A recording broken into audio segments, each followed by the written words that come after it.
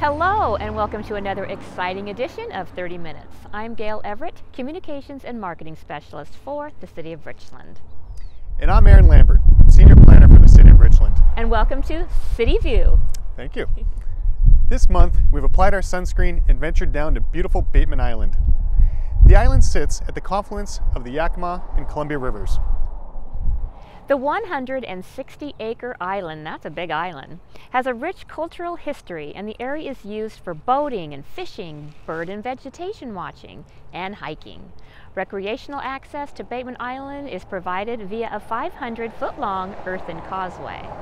Aerial photos indicate that the causeway was built between 1939 and 1940 for agricultural access. The U.S. Army Corps of Engineers purchased Bateman Island in the late 1950s and it is leased to the City of Richland under a 50-year agreement.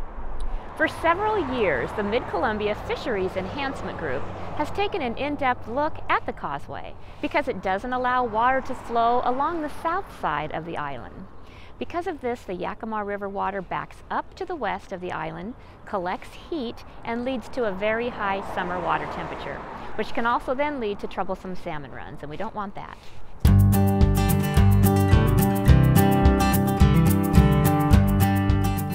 We've been looking at a project to see whether the causeway that connects the city of Richland to Bateman Island might be contributing to high water temperatures in the lower Yakima River. As a fish enhancement group, we're curious about that because we're interested in the time of year in the spring when young salmon move down the Yakima River into the Columbia and out to the Pacific Ocean. And then we're curious about late summer when adult salmon come from the Pacific Ocean up the Columbia and up the Yakima.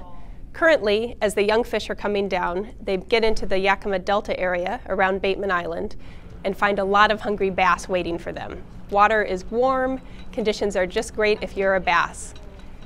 In the late summer, when the adults come back from the Pacific Ocean, they actually need to hang out in the Columbia River for more than a month while they wait for the area around Bateman Island to cool down before they can move up into the Yakima River. So we've wondered, what if there were flow through the Bateman Island Causeway? If we had flowing water conditions to the west of Bateman Island, might the temperatures in the area be cooler? And might conditions be better for salmon?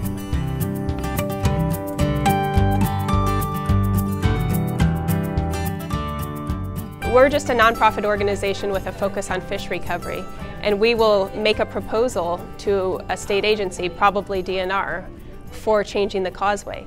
But our focus is on fish, and we know that we don't know everything about the other values in the area. So we're very much wanting to hear from other individuals and organizations what else is important in that area. We know it's not just fish. So we know that there are businesses like the marina and like guide services. We know it's a huge recreational resource for wakeboarding and fishing and hiking and bird watching.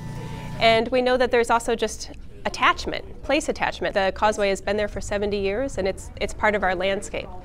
So before we work to try and put together a proposal for change, we want to make sure that we really understand the existing condition and we're pulling together a committee of folks who represent each of those values to help us think about what might be a compromise solution where things could get better for salmon without causing undue harm to human resources in the area.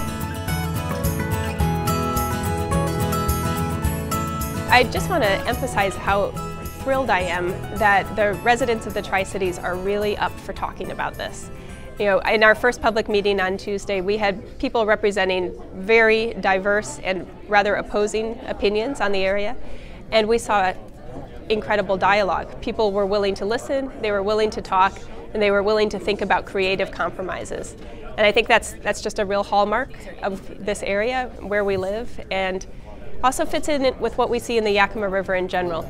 The Yakima River Basin is known nationally for the fact that people talk to each other and work towards compromises. So I'm thrilled to be a part of that and I invite other folks to please join the conversation.